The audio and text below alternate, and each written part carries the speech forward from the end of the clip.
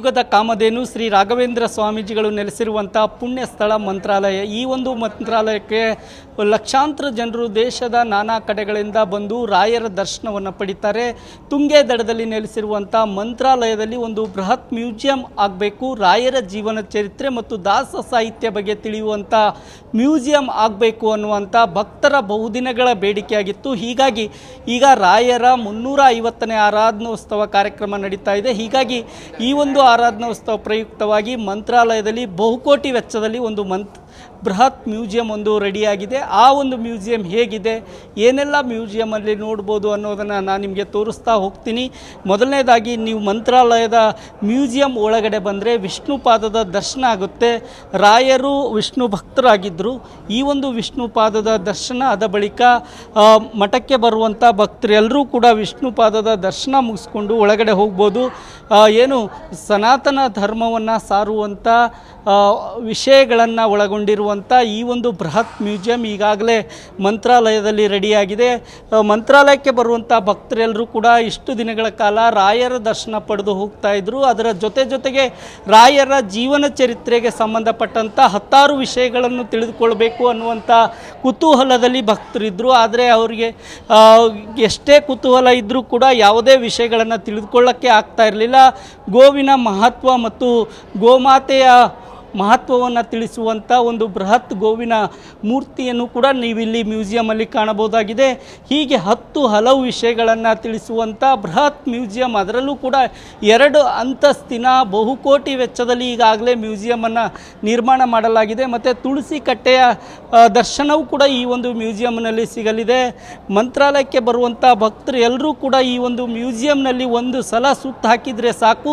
ನಿಮಗೆ ಏನು ಹದಿನಾರನೇ ಮತ್ತು ಹದಿನೇಳನೇ ಶತಮಾನದ ದಾಸ ಸಾಹಿತ್ಯಕ್ಕೆ ಸಂಬಂಧಪಟ್ಟಂಥ ಹತ್ತಾರು ವಿಚಾರಗಳು ಧಾರ್ಮಿಕ ಸಂಬಂಧಿಸಿದಂಥ ನೂರಾರು ವಿಷಯಗಳನ್ನು ಈ ಒಂದು ಮ್ಯೂಸಿಯಂನಲ್ಲಿ ಕಾಣಬಹುದಾಗಿದೆ.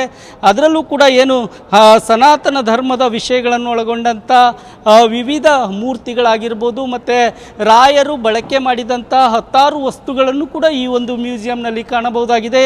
ಮ್ಯೂಸಿಯಂ ತುಂಬ ಚೆನ್ನಾಗಿದೆ. ಮುಂಚೆ ನಮ್ಮ ದೇಶದ ಎಲ್ಲ ನಾನಾ ಭಾಗಗಳಿಂದ ಜನರು ಬರ್ತಾ ಇದ್ರು. ಗುರು ರಾಘವೇಂದ್ರ ದರ್ಶನ ತಗೊಂಡು ವಾಪಸ್ ಹೋಗ್ತಾ ಇದ್ರು.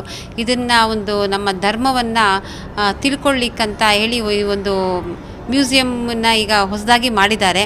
ಇದರಲ್ಲಿ ಏನಂತಂದರೆ ಒಳಗಡೆ ಹೋಗ್ತಿದ್ದಂಗೆ ವಿಷ್ಣು ಪಾದದ ಒಂದು ವಿಷ್ಣು ಪಾದದ ಮಹತ್ವವನ್ನು ಎತ್ತಿ ಹಿಡಿಯಲಾಗಿದೆ. ಮತ್ತು ಗೋಮಾತೆಯನ್ನು, ಮತ್ತು ಗೋಮಾತೆಯಲ್ಲಿರುವ ಎಲ್ಲ ಒಂದು ಮುನ್ನೂರು ಕೋಟಿ ದೇವತೆಗಳನ್ನು ಒಂದು ದರ್ಶನ ಸಿಗುತ್ತೆ. ಇದನ್ನೆಲ್ಲರೂ ಇದು ಒಂದು ಎರಡು ಅಂತಸ್ತಿನ ಎ ಸಿ ರೂಮಲ್ಲಿ ಮಾಡಿದ್ದಾರೆ. ತುಂಬ ಚೆನ್ನಾಗಿದೆ ಇಲ್ಲಿ. ಇದು ಒಂದಲ್ಲ, ಎರಡಲ್ಲ, ಇಲ್ಲಿ ಒಂದು ಕೃಷ್ಣನ ಲೀಲೆಗಳಿರಬಹುದು ವಿಷ್ಣು ದೇವ್ರದ್ದು, ಮತ್ತು ಗೋಮಾತೆದು ಮತ್ತು ಲಕ್ಷ್ಮಿ, ಸರಸ್ವತಿ, ಗಣೇಶ ಮತ್ತು ವರಹಸ್ವಾಮಿ, ಈ ಒಂದು ನಮ್ಮ ಒಂದು ಕಲಿಯುಗದಲ್ಲಿ, ಕಲಿಯುಗ ಒಂದು ಈ ಒಂದು ನಾಲ್ಕು ವೇದಗಳು ಎಲ್ಲವನ್ನೂ ಇದರಲ್ಲಿ ತಿಳಿದುಕೊಳ್ಳಲಾಗಿದೆ ಕಲಿಯುಗದ ಕಾಮಧೇನು ಶ್ರೀ ರಾಘವೇಂದ್ರ ಸ್ವಾಮೀಜಿಗಳು ಅಂತಂದರೆ ಕಷ್ಟದಲ್ಲಿ ಕಾಪಾಡುವಂಥ ಗುರು ಅಂತಂದರೆ ಅವರು ರಾಘವೇಂದ್ರ ಸ್ವಾಮೀಜಿಗಳು ಅಂತ ದೇಶದ ನಾನಾ ಕಡೆಗಳಿಂದ ಭಕ್ತರು ಈ ಒಂದು ಮಠಕ್ಕೆ ಬರ್ತಾರೆ. ಆ ಒಂದು ವೇಳೆಯಲ್ಲಿ ದಾಸ ಸಾಹಿತ್ಯ ಹೇಗೆ ಬೆಳೆದು ಬಂತು? ದಾಸ ಸಾಹಿತ್ಯದ ಮಹತ್ವವೇನು? ಭಕ್ತಿಯ ಸಾರವನ್ನು ತಿಳಿಸುವಂಥ ಹತ್ತಾರು ವಿಚಾರಗಳನ್ನು ಕೂಡ ಈ ಒಂದು ಮ್ಯೂಸಿಯಂನಲ್ಲಿ ಕಾಣಬಹುದಾಗಿದೆ. ಎರಡು ಅಂತಸ್ತಿನ ಎ ಸಿ ಇರ್ತಕ್ಕಂಥ ಬೃಹತ್ ಮ್ಯೂಸಿಯಂ ಈಗ ಮಂತ್ರಾಲಯದಲ್ಲಿ ನಿರ್ಮಾಣವಾಗಿದೆ. ಮಂತ್ರಾಲಯಕ್ಕೆ ಬಂದಂಥ ಭಕ್ತರು, ಈಗಾಗಲೇ ಮಂತ್ರಾಲಯಕ್ಕೆ ಬರುವಂಥ ಭಕ್ತರೆಲ್ಲರೂ ಕೂಡ ರಾಯರ ದರ್ಶನವಾದ ಬಳಿಕ ಮ್ಯೂಸಿಯಂ ಒಳಗಡೆ ಪ್ರವೇಶ ಮಾಡಿದರೆ ಮ್ಯೂಸಿಯಂನಲ್ಲಿ ನೂರಾರು ವಿಷಯಗಳನ್ನು ತಿಳಿಸುವಂಥ, ಹತ್ತಾರು ವಿಷಯಗಳನ್ನು ಒಳಗೊಂಡಂಥ ಬೃಹತ್ ಮ್ಯೂಸಿಯಂ ಈಗಾಗಲೇ ಮಂತ್ರಾಲಯದಲ್ಲಿ ರೆಡಿಯಾಗಿದೆ. ಬಹುಕೋಟಿ ವೆಚ್ಚದಲ್ಲಿ ಈ ಒಂದು ಮ್ಯೂಸಿಯಮನ್ನು ರೆಡಿಯಾಗಿದೆ. ಮಂತ್ರಾಲಯಕ್ಕೆ ಬರುವಂಥ ಭಕ್ತರೆಲ್ಲರೂ ಕೂಡ ರಾಯರ ದರ್ಶನದ ಬಳಿಕ ಒಂದು ಸಲ ಮ್ಯೂಸಿಯಂ ಒಳಗಡೆ ಸುತ್ತಾಕಿದರೆ ನೂರಾರು ವಿಷಯಗಳನ್ನು ಇಲ್ಲಿ ತಿಳಿಬೋದಾಗಿದೆ. ಮಂತ್ರಾಲಯದಿಂದ ಕ್ಯಾಮ್ರಾಮನ್ ಶ್ರೀನಿವಾಸ್ ಜೊತೆ ಜಗನ್ನಾಥ್ ಪೂಜಾ ರೇಷನೆಟ್ ಸುವರ್ಣ ನ್ಯೂಸ್.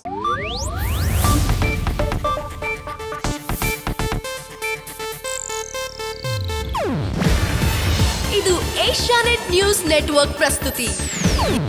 ನೀವು ನೋಡ್ತಿದ್ದೀರಾ ಏಷ್ಯಾನೆಟ್ ಸುವರ್ಣ ನ್ಯೂಸ್.